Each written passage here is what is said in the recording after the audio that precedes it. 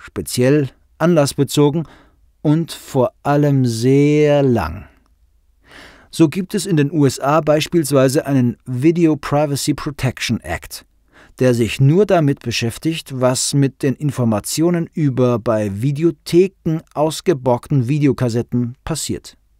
Hintergrund war hier, dass in den 80ern die unspektakuläre Videoliste eines Kandidaten für den obersten Gerichtshof veröffentlicht wurde.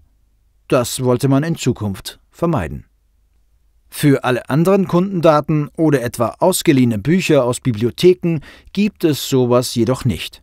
Statt einer abstrakten generellen Regel über Kundeninformationen gibt es nur eine für Videolisten bei Videotheken.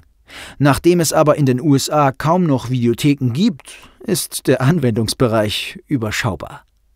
Es gibt aber auch andere spezielle Regeln für Gesundheitsdaten, Kreditinformationen oder Kommunikationsdaten. Es gibt sogar ein Online-Datenschutzgesetz, das gilt aber wiederum nur für Kinder bis 13 Jahre. Am Tag nach dem 13. Geburtstag sind Kinder also wieder vogelfrei, was dazu führte, dass die meisten US-Angebote im Netz erst ab 13 Jahren zugänglich sind. In jedem dieser Einzelgesetze sind die Regeln auch vollkommen anders.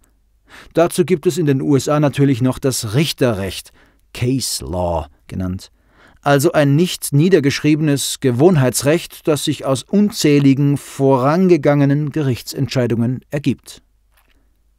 Dass ein solches Flickwerk aus detailreichen Regeln mit hunderten Ausnahmen und Sonderregelungen für ein Start-up unüberblickbar ist, glaube ich sofort. Für Unternehmen ist so ein System allein schon wegen der fehlenden Rechtssicherheit problematisch. Dieses Konzept ist aber genau nicht der europäische Ansatz. Bei uns kann man vergleichsweise leicht